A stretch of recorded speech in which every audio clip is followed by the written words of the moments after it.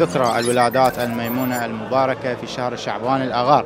وبهذه المناسبة العطرة أقامت الأمانة العامة العتبة العباسية المقدسة قسم العلاقات العامة المتمثلة بشعبة العلاقات الجامعية والمدرسية.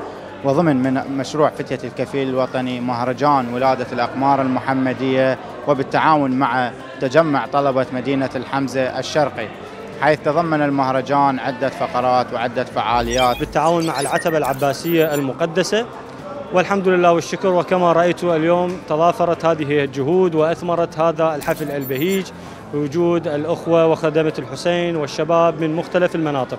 وبحضور وفد مبارك من العتبة العباسية المقدسة. نشكرهم على الحضور ونشكر الأخوة خدمة الحسين على كل ما قدموه.